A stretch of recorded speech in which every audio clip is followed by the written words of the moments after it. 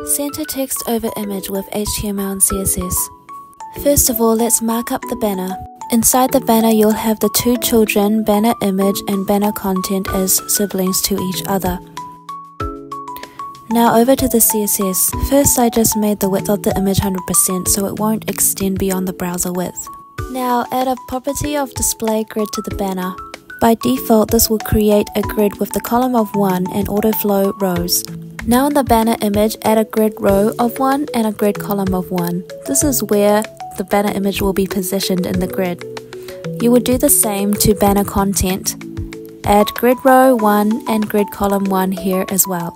You have essentially now overlapped the elements, but we still need to center them. All we need to do now is add align self center and justify self center, and we're good to go. There's our centered text. Now it's not looking the best, so it's time to freestyle it and make it look prettier. I like the look of the white text on the photo background. I'll just add a few more rows and show you what it looks like on the mobile view.